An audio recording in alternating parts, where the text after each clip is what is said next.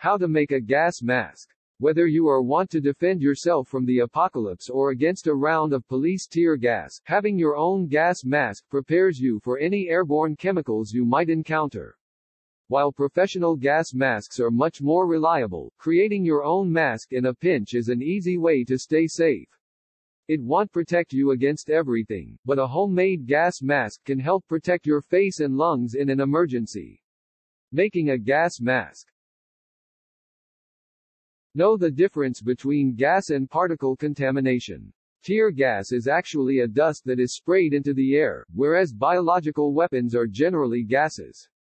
While it is incredibly difficult and expensive to completely protect yourself against gases, you can easily create a barrier against particles at home. Toxic ash from volcanoes, tear gas, and dust are all particle contaminates. Cut the bottom off of a transparent 2-liter soda bottle. Using a razor blade, cut the bottom inch off of a large bottle and discard the bottom. Cut a U-shaped opening for your head. Use a marker to draw a U across the front of the bottle, cap side down. This needs to fit snugly across your face, stopping roughly at your temple and below your chin. Make sure you leave 5 to 6 inches between the bottom of your cup and your chin.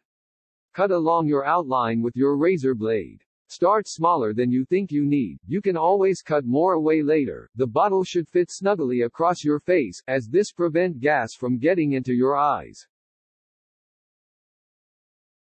Create a protective seal around your face with rubber foam. Glue 1 inch of rubber foam insulation around the edges of your gas mask to create a seal. This will keep contaminated air away from your eyes and nose. Take your time with this step, trying on your mask multiple times to make sure it sits snugly across your face.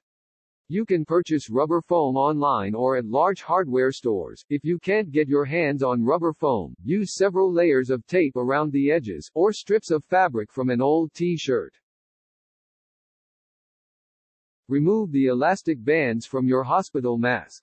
Cut them near the bottom, as you will need them later to attach the mask to your face.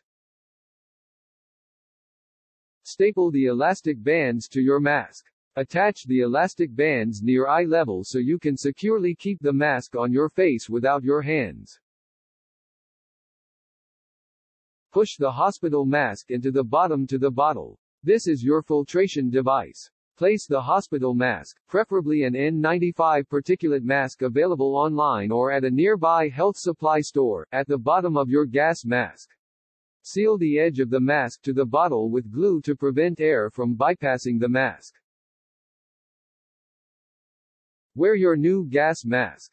Attach it to your face, making sure there are no holes in the insulation that would allow contaminated air to your face.